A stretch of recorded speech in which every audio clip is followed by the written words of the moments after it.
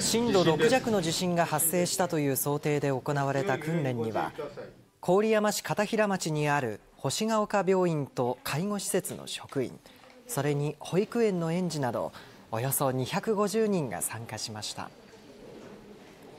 訓練ではそれぞれの施設の職員が患者の安全確保や避難経路などを確認しました。